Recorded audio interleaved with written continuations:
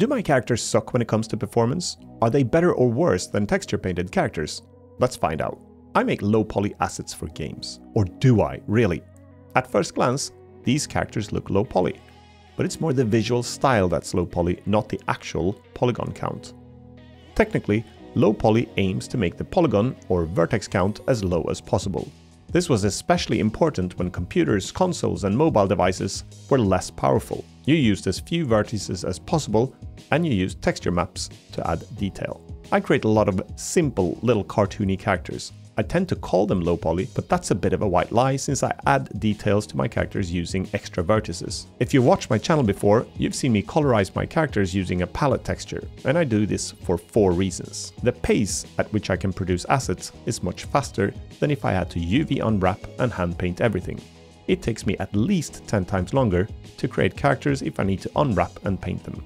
My skill set does not include painting, so my textures would likely look worse. The art style of the polygon colored assets is something I like. The sharpness of assets colored with polygons is unrivaled compared to the texture maps. You can zoom right up to them and they are sharp. But I've had comments on this and I've often wondered what the performance implications of this method are. In this video, you'll find out.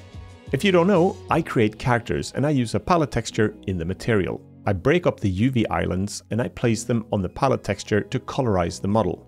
This combines the modeling, UV unwrapping and painting process into one quick workflow, at the cost of introducing more vertices and triangles to be rendered by the game engine.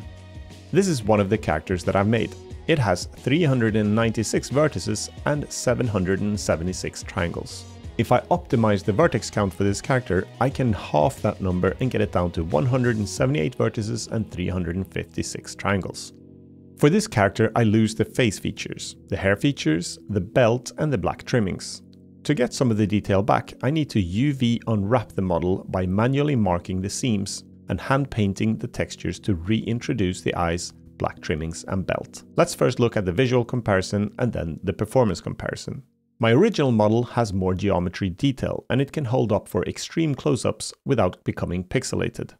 All characters can share a single material which is beneficial for performance and it saves on texture space, on disk and in memory. The texture model has less geometry definition, but it allows me to paint more details, such as a face, clothing and fabric folds. If you want this look or if you need to add a lot of details to the character, this is the way to go. However, it takes about 10 times longer to create and the textures pixelate when you get close. Be aware that the reduced geometry also means that the character will distort when animated.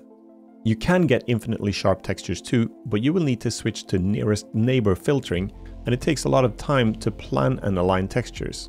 It may also have side effects, where you get sharp lines, for example on the clothes here, but at the cost of the eyes looking pixelated without bilinear filtering. So what about performance? The vertex count showed in 3D modeling software is not the same as the vertex count reported by the game engine. For example, this cube has 8 vertices and 12 triangles in Blender. If I import this cube into Unreal Engine and hover over the asset, it shows 24 vertices and 12 triangles. How can that be? Unity has to do precisely the same. 24 vertices and 12 triangles. It's because this cube uses flat shading, which means each of the six sides of this cube must store 4 vertices each, because the vertex normal is different for every face on the cube even if it's the same vertex in the 3D modeling software. A game engine vertex can only have one normal, so it must create three copies of the vertex, each with a normal vector pointing in different directions, to be able to render the flat surfaces. If we select all the faces of the cube in Blender and change them to smooth shading and import this cube into Unreal Engine, it now shows it has 14 vertices and 12 triangles. But wait, why 14 vertices and not 8? It's because in addition to each vertex only being capable of holding one normal, the vertex count is also affected by the UV layout. If we look at the default UV mapping of this cube, we can count 14 vertices. So what does this mean for my low poly characters? I use flat shading for most of my palette colored characters because I like the look of it. It would serve no purpose to stitch UV faces together and create larger UV islands because each vertex is copied three times anyway due to the normals pointing in the different directions. If you use smooth shading on most faces, and if you do texture painting, it would make sense to make the UV islands as connected and large as possible, both for performance and pixel density purposes. So how many vertices do characters generally have these days? Google will lead you to forums where answers range from 1,500 to 150,000 vertices, so it's hard to know. But if we import a metahuman into Unreal Engine, we can look at all the different LOD levels. Without the hair, the meshes that make up the human at the highest LOD 0 level has 112,706 vertices. The lowest LOD version, which is the lowest detailed version of this character, has 2,731 vertices. In comparison, my flat-shaded martial artist character, which requires triple vertices due to the flat shading, has 2194 vertices in the game engine. So it's pretty comparable to the lowest detailed version of the metahuman. Let's see how many characters my computer can fit on the screen simultaneously at 60 frames per second in Unreal Engine 5.2 and in Unity 2023.1. Normally you would animate the characters using skinning, but that's a performance topic on its own, so I will test that in a different video. Now I will treat the characters as a static mesh. Let's pretend they are scarecrows instead for now. I created a basic function that adds 1000 meshes at a time. It's difficult to match the render settings between the engines, but some key settings I've confirmed to be enabled in both engines are real-time shadows, global illumination, and anti-aliasing. Thankfully, Unreal Engine has only one render pipeline, and I think it would be visually comparable to the high definition render pipeline or HDRP in Unity, so I'll use HDRP in Unity. Let's start with Unity 2023.1. We successfully got 10,000 characters on screen before we dropped below 60 frames per second. In Unreal Engine 5.2, we successfully got 19,000 characters on screen before we dropped below 60 frames per second. If we enable Nanite in Unreal Engine, I could put a whopping 63,000 characters on screen at 60 frames per second. Nanite won't work for animated characters, but for most other environment objects it can be enabled, which gives you a huge performance boost and it saves the need to create multiple level of detail objects or LODs.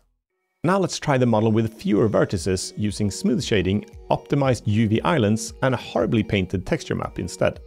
Will it be faster with fewer vertices or will the added reading of a larger texture map cancel out the performance increase? In Unity 2023.1, we get 11,000 characters on screen before we drop below 60 frames per second. In Unreal Engine 5.2, we got 20,000 characters on screen before we dropped below 60 frames per second. And with Nanite in Unreal Engine, we get 65,000 characters on screen. So now to the conclusion. The topic of this video was to find out if it's okay to use extra vertices and slice the model and colorize the polygons with a palette texture to get sharp details that can scale to any size. Or if it would be a big performance boost to reduce the vertex count and paint textures instead, tenfolding the times it takes me to create assets, but with the benefit of allowing you to paint details. That's if you can actually paint details where I clearly have a long way to go. Reducing the vertices and using textures is only 10% faster in Unity and 5% faster in Unreal Engine. So my conclusion is I will keep using my UV palette colorization technique because it does not impact performance much at all. I will have a much higher rate of creating assets for my games and it gives me the visual style that I like. And a few notes before we call it a day. We did not talk anything about lightmap UVs in this video. If you use baked light maps instead of real-time lighting in games, you will need to create a separate light map UV channel using the palette texture method. You won't bake lights for characters, but for environment assets it might be useful, so I'll cover that in a separate video. We should also talk about the use of different LOD or level of detail objects if you plan to have many characters on screen at the same time, but also topic for another video. So the bottom line is we can keep using the palette colorization texture for now without having to worry too much about the performance impact in our games.